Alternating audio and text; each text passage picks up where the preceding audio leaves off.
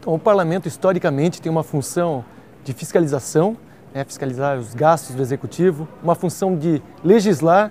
criar leis, é, aprovar leis, rejeitar leis, aprovar leis vindas do executivo, mas o que eu defendo muito, o papel do parlamento, é a oportunidade. Né, a oportunidade de estar próximo da população, ser um elo é, da população ao governo, ao executivo, realmente dar oportunidade. Muitas dessas pessoas que estão nas cidades, lá no interior, elas não têm essa oportunidade de ter uma proximidade com o poder executivo. Então, acho que o papel do parlamentar, além de fiscalizar, legislar, que é algo batido, mas também é estar próximo do cidadão, lá da ponta, e levar as suas demandas para, para os governos municipais, o governo estadual, e realmente fazer a entrega para as pessoas que mais precisam, é, principalmente nesse momento difícil que a gente está atravessando.